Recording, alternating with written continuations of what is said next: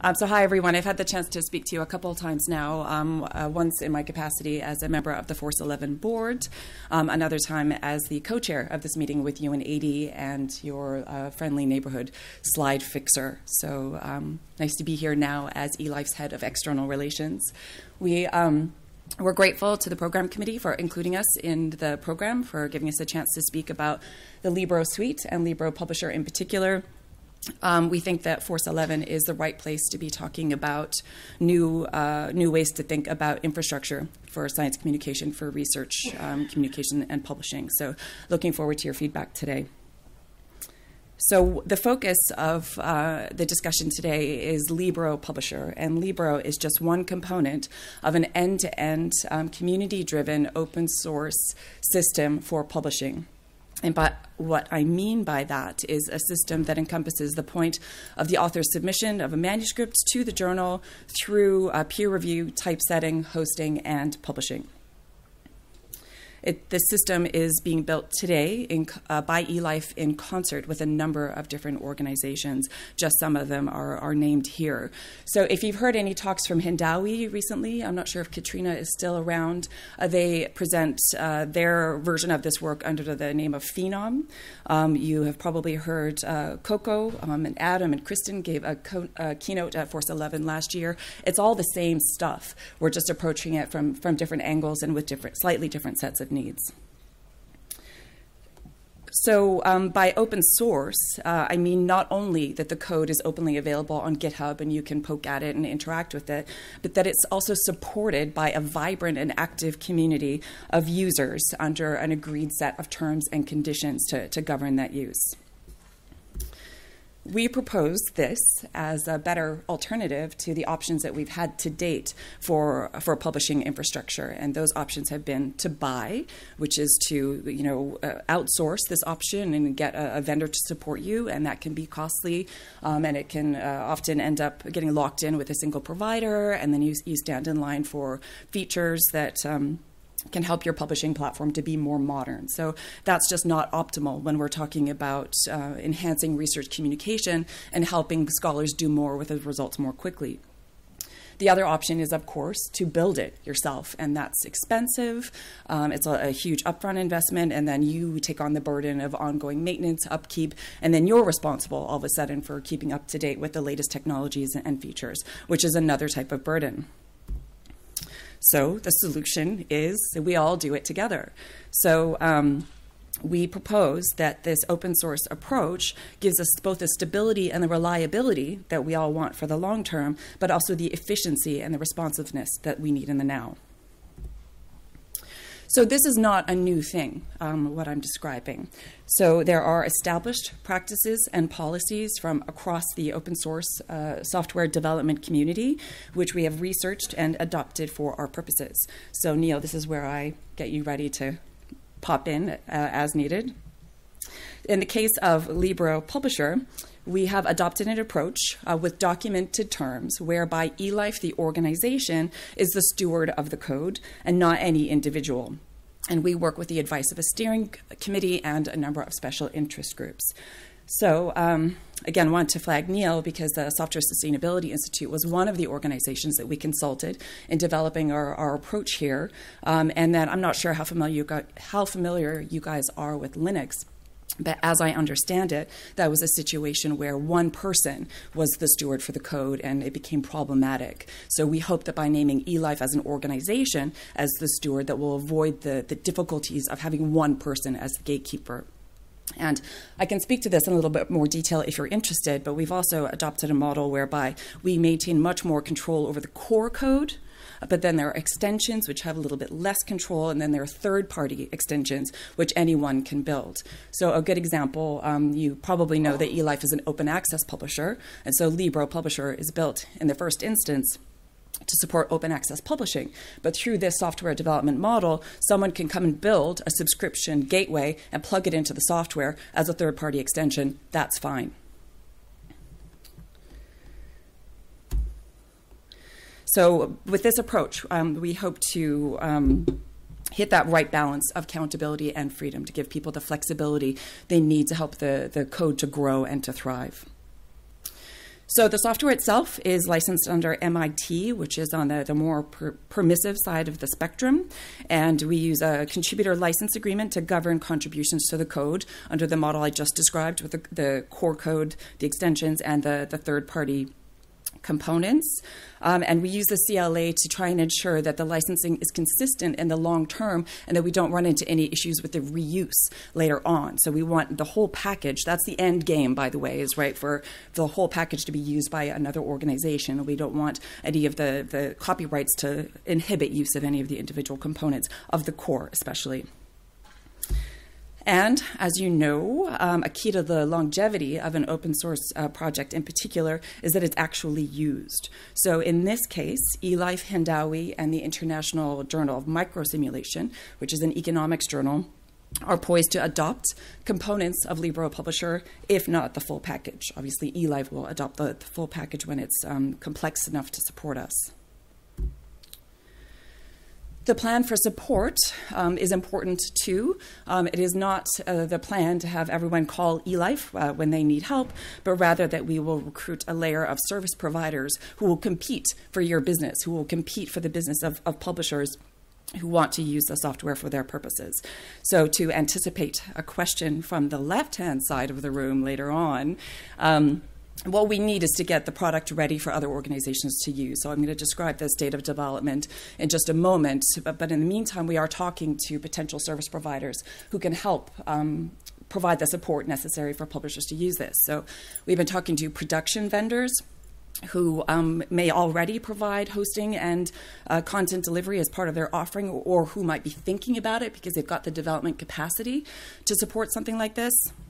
And we've also been speaking to um, uh, I, what I want to call ISPs, you know, um, uh, organizations who, who provide support for all types of different software, open source packages, maybe Moodle, maybe Civi, but just have um, competencies in the languages that we're using and could um, open this up for uh, small operations, individual journals perhaps. And we've been talking to some organizations that are established and trusted partners of the um, publishing community today. I don't know if Theo is in the room, um, but Theo made that point very clearly to me. You know, that if we're talking about moving respected, long established journals to a new platform, we're not going to work with a partner that we don't know. So we have spoken to a number of organizations that you'll recognize um, to and who have the development capacity and the relationship with publishers to support this in the long term. So hopefully, when the thing is ready to go, that um, you'll have a few different phone numbers to call for information. So this is what it looks like. Uh, we think in the in the end in the end game, we've got the community of people who are actually developing on the core code, adding features, etc. We've got service providers who may contribute um, development uh, time as well, but whose primary role is to provide support to university presses, library publishers, small publishers, big publishers, and societies. Now, what I wanted to do here also is draw a dotted line from big publisher to Libero community because we want those types of organizations contributing to building the software in a direction that, um, that will support them. So I'm going to take you back to what it is we're building exactly. And as a reminder, we're talking about a full suite in the end, but the focus today is that just that bit on the right hand side. So we are working on something that we call Libero Reviewer. I think Hindawi calls it Phenom Reviewer. We are working on um, Libero Producer, but uh, with a focus on author proofing and, uh, and then the, the content delivery side. So let's take a look at that.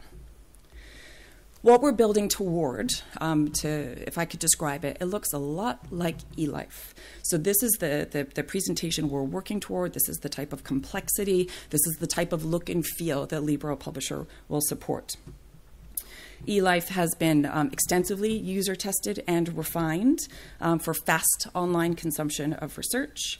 Um, but what we learned with eLife is once we'd finished developing this technology, this thing that you've seen online at eLife for two and a half years, is that nobody else could use it. So it was just too too specific to us. All of the all of the tags and the categories were written for very you know detailed subsets of biomedical research. So it was really too difficult to unpick it and use it for someone in in any other discipline, really. So we went back to the to the drawing um, board and started over. But this is the the visual side that's user tested. It wor- it works. We know it does. So we just want to plug that on to um, to the uh, the data model that we developed for Libero Publisher. I want to go back to um, what Rachel said earlier as well. You know, it's a slightly different um, angle on the on the the point, but she said that user experience is core. Right? If we want to get user adoption of new services and, and tools, helping them to have a great experience is really important in that. So we believe we've started that with the kind of research consumption side that happens on our journal site, but it's a methodology that we're taking through the um, the systems that we're developing for submission, peer review, and production. So we want our staff to have the same ease and joy of interacting with the systems. Uh, we think that it's just going to make everything that much more efficient and enjoyable for, um, for everyone who's doing the work. So with this presentation, um, you'll notice that it's lovely, that it's clean and it's clear. There are also full color images. I just didn't put one up for you. There's no distracting site furniture. Um, it, it, the intent is to encourage the reader to move through information in, a, in an order of priority. Details are linked up. So you see the, the blue computational systems biology. Um, you click on that and it goes to a new um, uh, set of content uh, that focuses on what you want to look at. Now these are these are simple things. I know. I'm sure many many other journals have them. However, there's still things that need to be built. They, they take time, they need, they need to be constructed. The research article, too, is designed to help readers quickly glean the nature of, of what they're looking at and then move efficiently through the page. Figures, videos, tables um, are, are in line for convenience, and the mobile version is just as lovely as it is quick to load. So these are modern practices that more and more in publishing, uh, more of publishing could take advantage of. And that's the point of making the system open source so that other organizations can plug and play and then turn their talents to other areas where they can add more value. There's so much more we could do to really more, uh, more effectively take research results more uh, farther ahead more quickly. Finally, I think Emmy opted out of this, but I'll give it a try. Um, so where we've been looking at eLife, I'm going to show you Libero Publisher in just a second. But um, once Libero Publisher is built up to the level of complexity of eLife, we can start to do cool new things with it. So just to give you a flavor of um, where we're headed, here's something cool and new that we're that we're building for eLife. So it's something that we call the reproducible document stack, and uh, what we're doing right now is uh, is building up our um, submission, peer review, and production systems to be able to support submissions of this nature. But basically, they preserve the code and the data associated with the paper so that when the reader actually gets to it, it's not just flat tables and, and flat data sets and flat figures. They can actually tinker with um, the uh, with the author's results in a way that gives them a different view and they can interrogate it more more efficiently and maybe um, find something different than the author did. So now um, this uh, here uh, commences the official demonstration of Libero Publisher. You'll see that it is um, familiar, but still not quite as complex as Libero, sorry, as eLife. So you've got the same um, clean, clear presentation. There are more articles down there, I promise. Um, you say, see the same um, white space around um, the title and author list. You see the same presentation of, of information. Um, so underneath the content listing, you get technology update. What is it that I'm looking at? The title is bigger to describe exactly you know what um, the article is about, and then other key points that again we organize in this way through through user testing. The article it's also looks familiar to you. Um, again, it's just not quite as, as complex as what we've got on, on eLife yet. You've got the title, the author, their affiliations, um, neuroscience is the category for the paper, and then research advances is the type. So these are uh, categories that we're building out. Uh, Melissa will be a good person to ask questions about this if you want to, but this is um, similarly um, simplified. So uh, you know that a reference list can be much more detailed than this, but just with this release, this is all we've constructed so far. So there's much more you can do with a with a reference list, but um, this is uh, the current presentation on on Libero Publisher.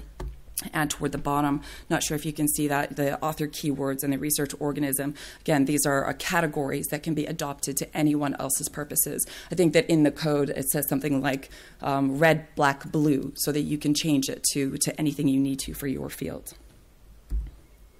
And the uh, mobile presentation is similarly mobile friendly and fast. And that's it, really. Um, you'll see it's quite familiar to eLife, so you, uh, you know where we're going, but it's just a matter of time to build all the, all the components to support the presentation. The defining the data model in particular is really really important. We're trying we're really trying to build a common language with other publishers so that they can get the system um, up and running more quickly. The uh, public roadmap is is public, so you can get a sense there of, of what's next. Um, in the near term column, you can see things like math. Supporting math will be important for a lot of different organizations, as well as um, basic search results. And that uh, the one at the top called technology adaptation is a rather broad and obscure term for um, configurability. So, uh, another thing we've learned is that for another organization to be able to install and run the software, it needs to be not only generic, not too specific to eLife, but presented in a way that they understand what to do with it. So, whether it's documentation or automation, how do how does someone actually you know take and run um, with this technology? So some of the ways that we're that we're approaching, or some of the things we're taking into account with configurability, are branding and styling. So as lovely as eLife is, you may not want to use the same fonts. You may have a different logo. You can change to ours. I really like ours, but if you don't, that's fine. I've mentioned categories a couple of times, uh, but what you put on your navigation menu, um, what type of uh, static pages you may have, all of that is um, is important for configurability, and that's what we're building for now. In the longer term, um, we've got lots of things in mind. So um, it, it, it, made sense um, somehow uh, to build multilingual support sooner than later. Um, and so we already know that Libero Publisher can support uh, Japanese, Cyrillic, and Arabic. Also, oh, surprise! Uh, I didn't realize I could talk quite so long, but I shouldn't have been, but shouldn't be surprised. Um, another thing is dashboards. So um, staff, um, despite the ability of the of the machines to kind of ingest the content automatically and stick it into the content presentation layer, um, staff would like to have an idea of what's going on and make sure that all the figures are present and that it meets our standards for for publishing. So we're building dashboards to support that. You'll recognize the user experience again, clean, clear, and helping the staff to get to what they need to um, as directly as possible. So, um, to get a better sense of, of what we're up to and the state of things, you are very welcome to take a look at the website at libero.pub. Uh, we've got streams of news, the code is openly available online. On the GitHub, uh, you can contact us if you want to talk Turkey, if you want to talk about how we're uh, what we're building lines up with with what you're after. Um, the roadmap is there as well. The Libero.pub um, website is a gateway to all of these resources. So if you remember one thing, do remember that. And then um, on Slack, we've got a growing community of de- developers who are very um, happy to talk about what they're up to or um, answer questions about um, how they can help.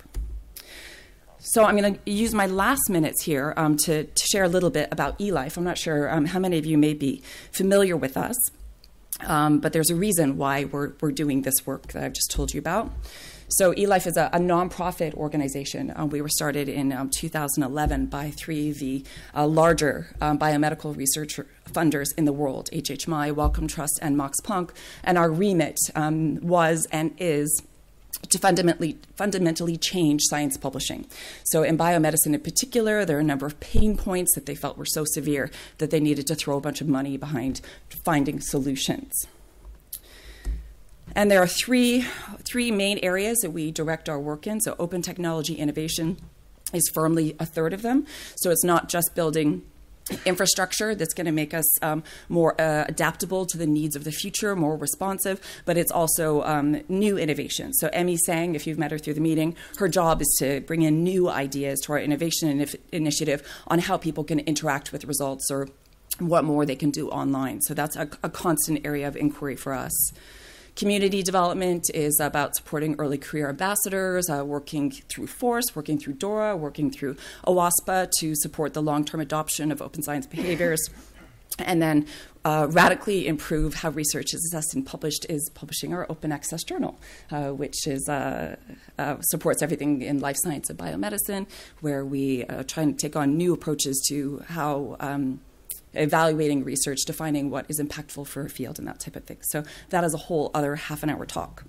At the end of the day, however, um, we want other people to leverage um, the investment that our funders have put into eLife. If we do all these things by ourselves, then the impact that we have on the world is, is just limited. So we would like you to help inform the direction of our technology development. We'd like you to talk to us about editorial um, practices and policies so that we can learn from one another and, um, and get better faster. So, um, to conclude, um, I just want to highlight that um, eLife's motivations for developing the Libero suite of technology um, is are to uh, leverage the power of web technology to accelerate research and discovery, to support open access publishing, and to build a community owned infrastructure for research communication. If any of you want to do those things, you are very welcome to join us and work with us. Thank you.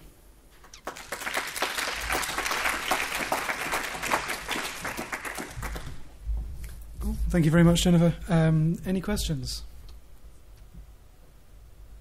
Uh, yep, just over here.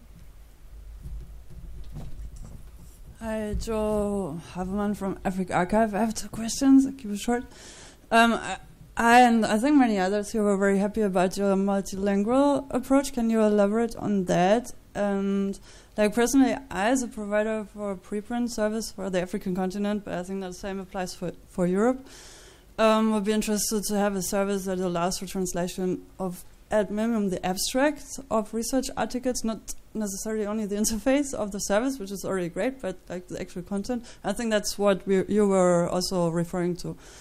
Um, so language diversity and also integration of the various preprint services, if that's maybe I missed that part. Sorry. What was the second part? So I, I think I understand the, the connection between preprints and and uh, presenting content in different languages. But what was the second no, part of your comment? No, it's two separate questions. Mm-hmm. Like how, like if you see a chance to kind of work with the variety of preprint services that we have today, if you see a future of collaboration of some sorts and standardization, like if you're in talks with some of us, and um, yeah. But first, the language diversity, maybe or. Both are important. Okay, well, let me take the preprint first. Um, so uh, we completely support preprint uh, deposit um, and have ex- uh, relationships now with bioRxiv, where if you uh, deposit uh, your your preprint there, if you publish there, then you could submit to eLife on the same point. And the the converse is true. If you submit to eLife, we invite you to to publish um, submit to bioRxiv at the same moment. So we totally totally support that. Um, the Libero publisher. Is a content delivery face and system, so it depends on XML. Uh, so we need the XML to come in. Any any preprints that exist in PDF need to be into XML before we can support it. But we would love to explore that further. And on the, the multilingual support, if I understand correctly, um, the the state of us, if we have the XML in uh, Japanese or a Cyrillic language or um, or Arabic, then Libero Publisher will support it. However, we, I'm not sure we have um, Cyrillic or Arabic or Japanese reading staff, and so we need some help to make sure that the system isn't screwing up th- anything up badly. Okay. Uh, any other questions? Okay. Um, really, two questions actually. Uh, the first question is How is the interaction working with OJS? I saw you had PKP up um, as one of the partners. What is its relationship to uh, existing OJS systems? And I guess actually a question raised by Joe's question um, and, and, your answer. Um, to what degree are those elements like uh, conversion to XML, um, uh, well, actually mostly that, handled inside the system? Or is that just like in OJS, you have to go outside the system to get your XML and then bring it back in? Um, so, um, Juan and Melissa are casting a clear eye on me, so I'll make sure and do my best. Um, but so we outsource our conversion as well. So um, off the back of our peer review system, we get uh, different formats that are not XML, and so we we outsource it to Exeter Premedia. So um, so we do that ourselves at eLife. And the relationship with OJS is that we're working on um, pr- uh, improving production processes at the moment. Um, in particular, I mean, OJS has been quite active in looking at substance tools, texture, you know, other um, open source options between peer review and publishing, where um, we've been talking at length for some time and hopefully co-developing solutions in future. Juan, would you like to expand?